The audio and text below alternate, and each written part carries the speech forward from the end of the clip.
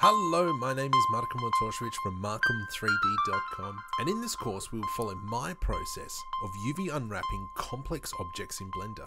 Now this is an intermediate course for Blender users, but if you're a beginner, I have provided a comprehensive list of YouTube videos that will show you the basics of UV unwrapping and a few tips and tricks.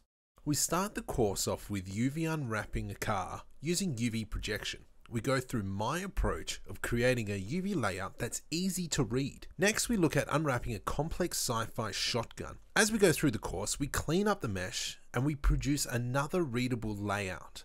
From here, we do something a little bit different. We get a high poly mesh from a sci-fi door frame, get it down to a low poly mesh, and then bake a diffuse, normal, glossy, and emissions and an ambient occlusion map. To finish off, we go through the process of UV unwrapping a low poly character, which will be available to download at the end of this course. So please, come and join us to increase your knowledge of UV unwrapping.